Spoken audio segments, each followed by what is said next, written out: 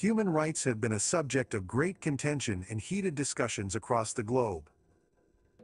Such discussions arise due to the complex nature of human rights and the diverse perspectives surrounding them. On one hand, proponents argue that human rights are universally applicable and should be protected at all costs. On the other hand, skeptics raise concerns about cultural relativism and the potential for imposing Western values on other societies. In order to comprehend the true essence of human rights, it is imperative to examine both perspectives and their underlying principles. Advocates of human rights assert that these rights are innately inherent to every individual regardless of their race, gender, religion, or nationality. They contend that human rights form the foundation of a just and equitable society, guaranteeing fundamental freedoms and protecting individuals from oppression that is the Universal Declaration of Human Rights, adopted by the United Nations General Assembly in 1948, outlines a comprehensive set of rights that are considered fundamental to all human beings. These include the right to life, liberty, security, and equality before the law. Moreover, proponents argue that upholding human rights is crucial for fostering peace, stability, and social progress.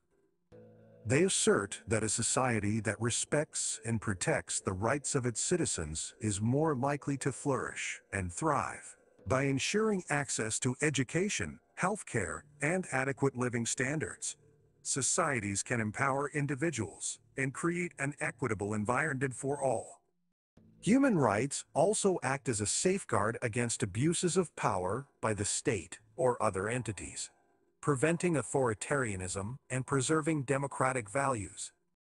On the other side of the debate, critics argue that the concept of human rights is Eurocentric and imposes Western values on non-Western societies. They claim that the cultural relativism of human rights should be acknowledged, allowing each culture to define and prioritize its own set of rights. It is argued that a one-size-fits-all approach ignores the rich diversity of cultures and may undermine traditional practices and norms. Moreover, skeptics question whether certain rights, such as freedom of expression, may be manipulated and exploited leading to social instability and discord. Additionally, critics argue that the enforcement of human rights can be impractical and even detrimental in certain contexts. They contend that in fragile states or regions riddled with conflict, implementation of human rights may hinder the pursuit of stability and the resolution of deep-rooted tensions. Prioritizing immediate stability and security over long-term human rights can be viewed as a necessary compromise in tumultuous circumstances. Critics raise concerns regarding the effectiveness of externally imposed human rights mechanisms and highlight the importance of considering local customs, sensitivities in ensuring sustainable development. Despite the controversies, international human rights organizations play a pivotal role in promoting and safeguarding human rights globally. These organizations monitor and report on human rights violations, advocate for victims, and provide support to marginalized communities.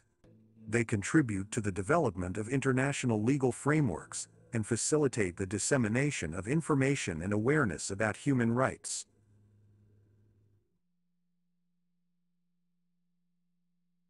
By holding governments accountable for their actions and raising public consciousness, these organizations strive to create a world where human rights are universal, were respected and protected.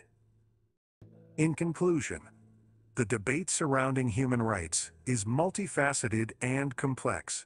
The arguments put forth by both sides highlight important considerations, such as the universality of human rights, cultural relativism, societal progress, practicality, it is essential to acknowledge and understand these perspectives in order to engage in meaningful discussions and shape policies that respect the rights and dignity of every individual.